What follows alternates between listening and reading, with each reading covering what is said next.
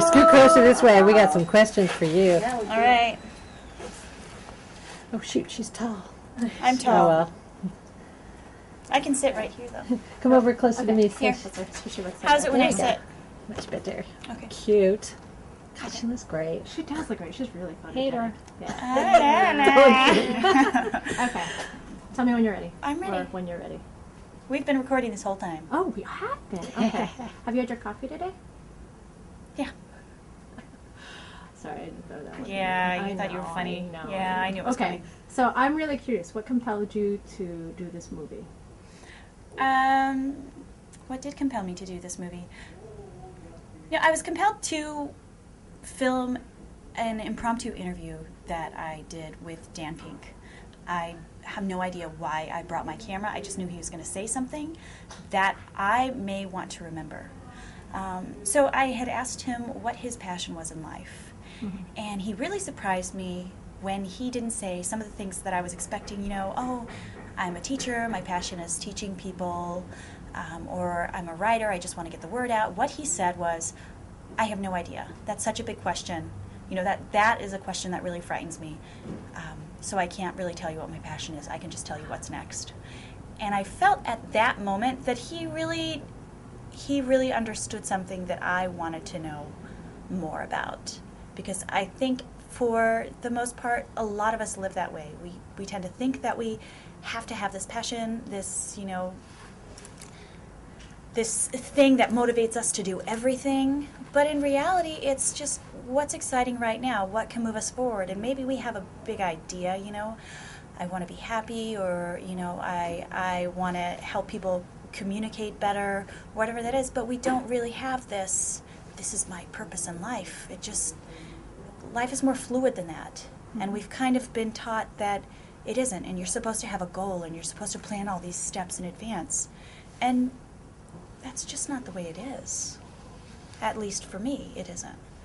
So, do you think, like, in the process of making this film, you've learned or your views have changed in terms of doing what you pursuing what's important to you? Like, how have your views evolved, I guess, from the beginning of making this film and after all the people you've met? Absolutely, my views have evolved. They can't not evolve. Um, you know, making making this film for me. Um, what are they doing? They They're, they're washing the roof with a spray nozzle. Um, like for, for me, um, you know, because I kind of sourced this film just like piece by piece. I didn't decide these are the people I'm going to interview.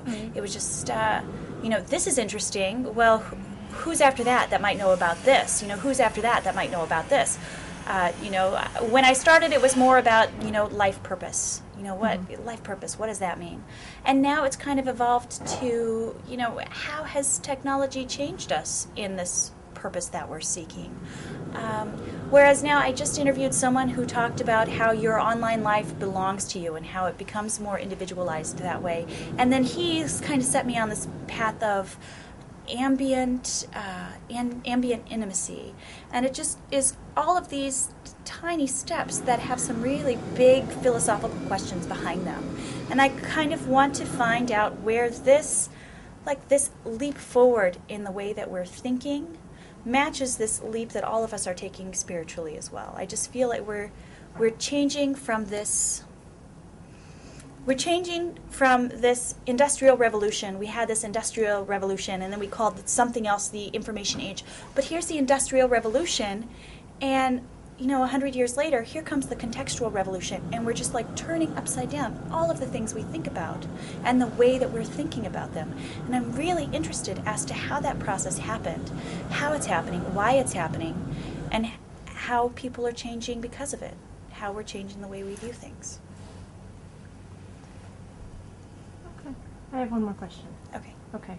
Well, just to tag on to that one, is that so do you think there's like a model, like from all the people that you've interviewed? That's what I'm most curious about. Like, do you think that there's a model poster boy, oh, oh, poster boy or poster woman? Like, kind of, like, what are the, uh, what's the common thread in, for people in the contextual revolution?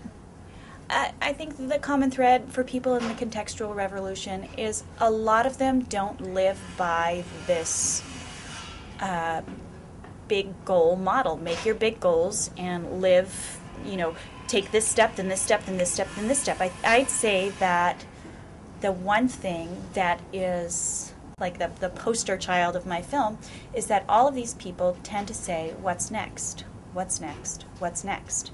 And they go with the flow of what's next. That's it. That's the end. Okay. Is it? Mm-hmm. That, I think Yeah. that whole rib thing, whatever.